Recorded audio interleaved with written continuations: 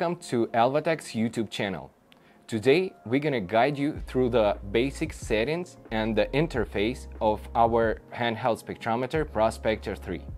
The Prospector 3 allows you to perform an analysis and determine the concentration and composition of absolutely different materials with great accuracy and precision.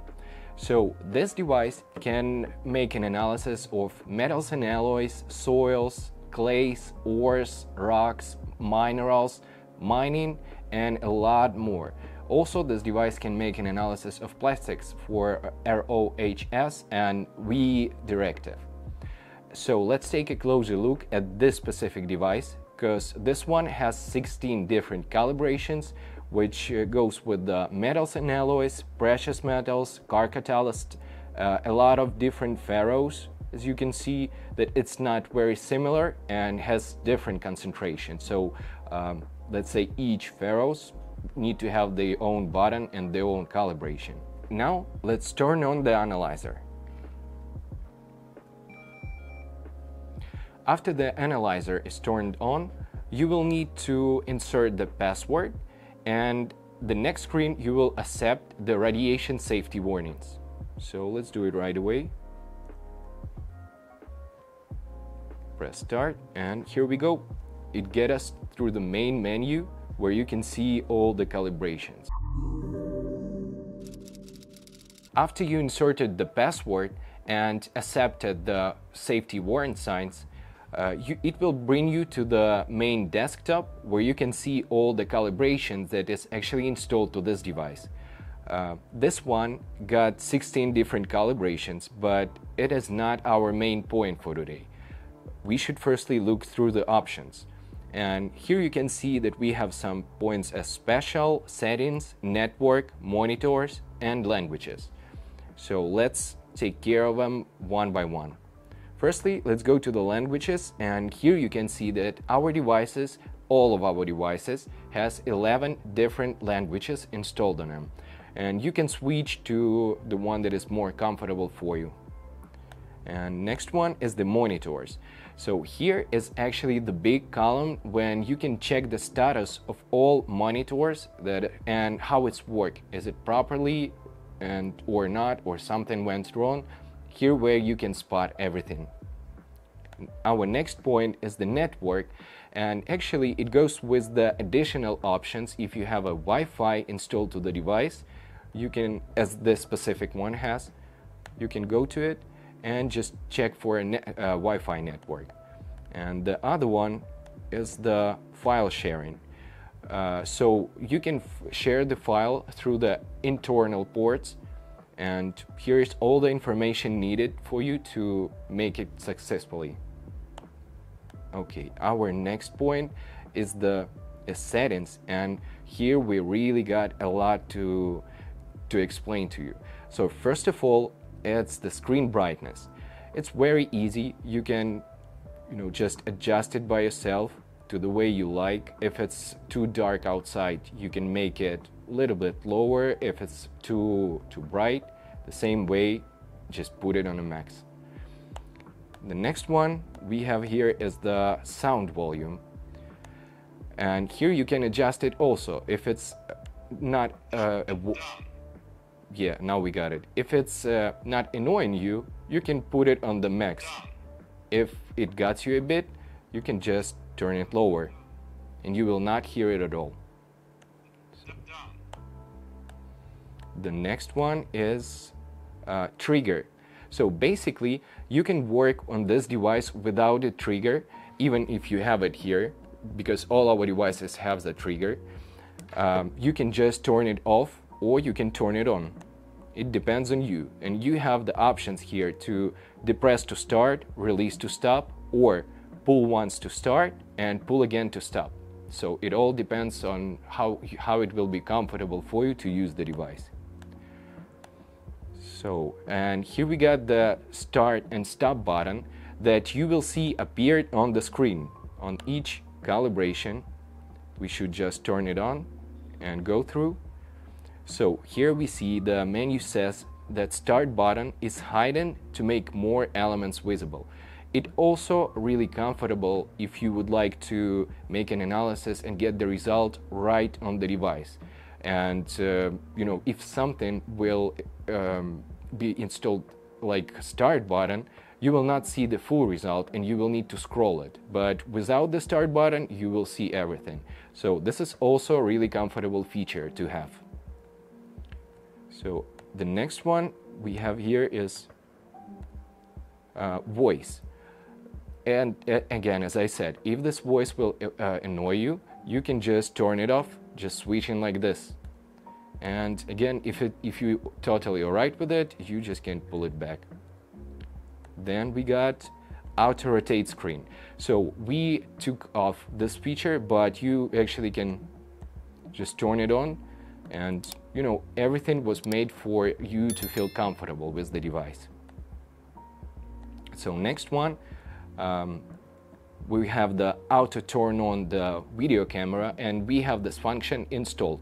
So let's take a closer look how it works because every time you go to the calibration and you are ready to make an analysis, if you have the sample near, you can just target it and the video camera will turn on automatically. If you don't like this feature, you can just turn it off.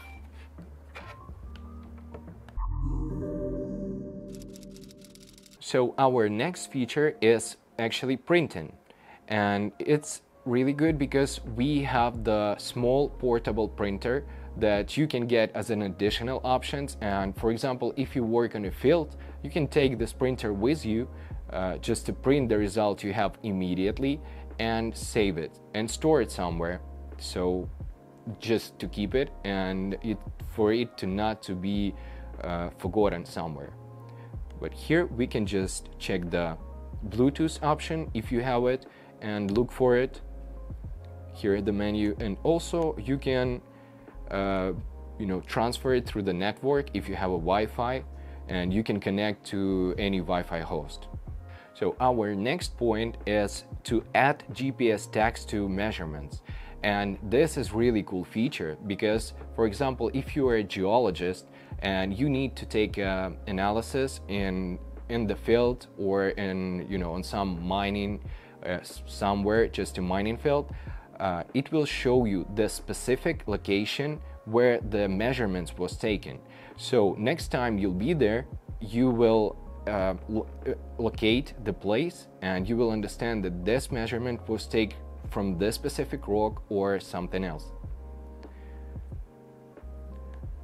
So our next feature is take photos of samples and you can actually activate and deactivate it like manually for your needs but uh, sometimes again for like geology soils and uh, some other materials can be taken by taken with a picture for you to understand not just by a name but visually by a photo. So our next feature is the measurement storage and it also important option for you to store your analysis and all the result correctly and reliably not to lose it and you know to make sure everything will be on your device or on your memory card.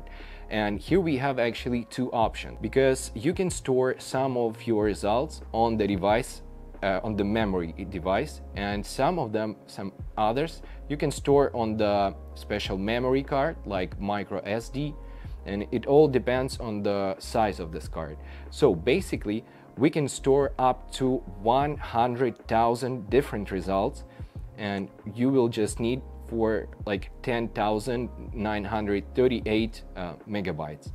But for 3000 you will need uh, just 328 megabytes. And it's actually good for to store it on the memory of the device itself. You don't need the card for 3000 results. For for more you will need to install the micro SD that we provide also with the device. So our next feature is measurement export. And I think uh, it's pretty clear everything here. It says by the name. So you can just go to this uh, column and find it the special folder where you want to store the or where you want to transfer your results. And you can do it also through Wi-Fi or Bluetooth. We are connecting to the computer or um, any kind of uh, storage. And also we have three different features left and they are pretty basic. So you can go with the setting the time and date, setting the password and operator's name. For example, if uh, there be a few person who will work on one analyzer, you can just, you know, put the input the name of each and uh, just select the operator when he's using it. Also, we have some additional settings for each calibration and just let's take a closer look in it right away. Yeah, as soon as we got to the calibration menu, we need to put the options and here we see, here we can adjust the spectrum or just put it just to show you the all results in spectrum. Then we can make the composition that we usually also use it and alloy grade, which is really important for metal and alloys mode. Compare to alloy, pass and fail function and some library with the alloys where you can compare to your results. Just really a lot of them here of the different grades and standards. When you activate the pass and fail function, you will have two additional uh, features of it. It's alloy to compare to and pass decision threshold. But when you put the composition back, you will see that there's those two topics are not activated. And also we have here averaging where you can switch between three measurements, five measurements, or your amount of measurements like numerals. And averaging settings where you can just adjust take minimal concentration, maximum concentration, average spectrum, and we have here the average concentrations. But keep in mind that not all settings of all calibrations are the same. Some of them has some additional features like car catalyst has the special option of pricing where you can put a price for all three elements and after each measurement it will show you the exact price for rhodium, for palladium or for platinum right away.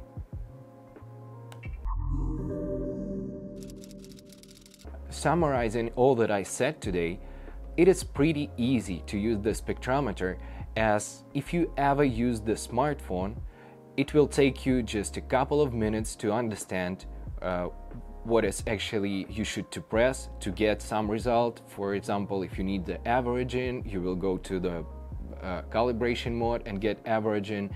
If you need to, to set the date and time, you can do it in a basic screen and you have no need to do the it's in calibration menu.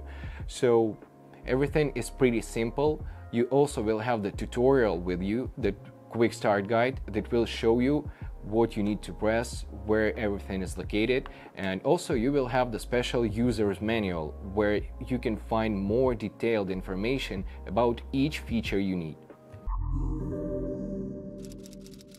To get more information about Prospector 3, or how to operate on this device, you can contact our manager by the phone or write us an email. And don't miss out our next reviews and interesting videos. Subscribe to our channel. Just click the subscribe button and don't forget to click the bell to receive the notifications of new videos. Also, don't forget to like this video so we know you enjoyed it. Stay tuned and see you soon. Bye.